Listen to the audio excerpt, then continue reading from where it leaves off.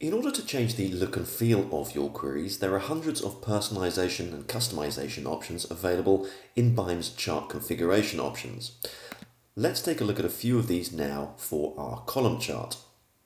We could, for example, show grid lines in our query and even stack the columns where you have multiple values selected in your row selector or multiple measures in here. We can modify colors.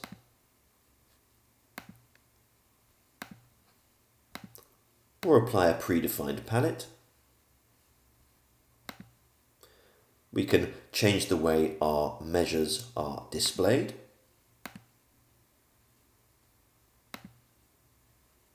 We can modify things to do with the X and Y axes, such as changing the title style and the label style, even truncating the x-axis labels. In terms of the row selector, we can change the width and all of the colors associated and change the positions selected in the row selector. In terms of the legend, you can change its position and its style. Choose to display your values, add a shorthand format, and change where they are positioned. We can add trend lines, either a constant trend line, linear, or polynomial.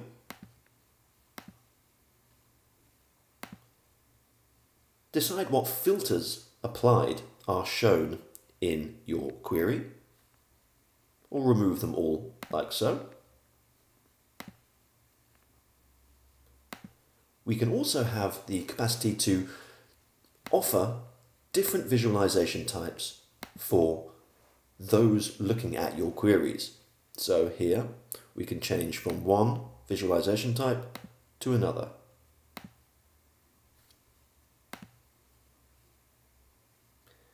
The interactions that are available for this query can also be activated and deactivated here.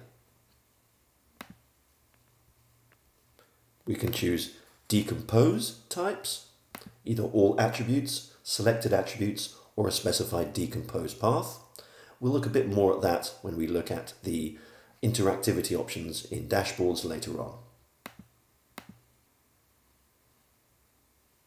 The drill through, which allows you to uh, show the underlying data, the underlying raw data for a particular data point, we can choose which fields of the data will be exported in that drill through. And you also have the explosion options for when you're using an attribute in this explosions part here. As well as going by the chart configuration options, there are different ways you can modify your uh, the elements of your query by just clicking on them. So here I can modify the labels in my legend. I can change the y-axis title and the x-axis title too. The configuration options change for the different visualization types that we have available. We'll let you uh, discover these for yourselves.